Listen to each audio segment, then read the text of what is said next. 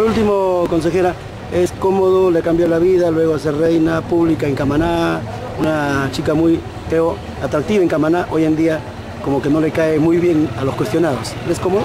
Caramba, ¿cómo se enteran tan rápido que había sido reina de la provincia de Camaná? Efectivamente sí, pero yo creo que no son los principales laureles que he tenido, ¿no? ¿Qué otros laureles tiene? Yo he sido excelencia académica de Derecho, yo soy abogada, y la Universidad Católica me premió y también el, el Ministerio de Justicia cuando culminé mis estudios con altos honores y yo creo que es importante, yo animo a toda la gente joven, eh, estudiosa, inteligente, brillante, que pueda atreverse a estar en política, nos aleja el tema de la corrupción, el tema de que el que se mete en política tiene que ser necesariamente sucio, pero yo digo, si nosotros, los mejores estudiantes, no nos atrevemos a estar en política, vamos a dejar el espacio libre para que gente oportunista ocupe estos cargos importantes que significa el desarrollo de nuestros pueblos y la atención a nuestra población. ¿Ya se ganó enemigos todavía? Yo creo que muchísimos.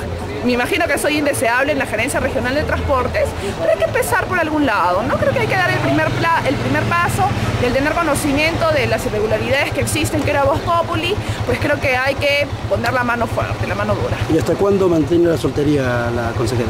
Bueno, ahora estoy dedicada, me he casado con mi provincia. ahora Una buena pareja. hasta nuevo aviso, que me entienda sobre todo, que entienda lo que hago, mis viajes y todas las cuestiones en favor de la población. Muchas gracias. Gracias.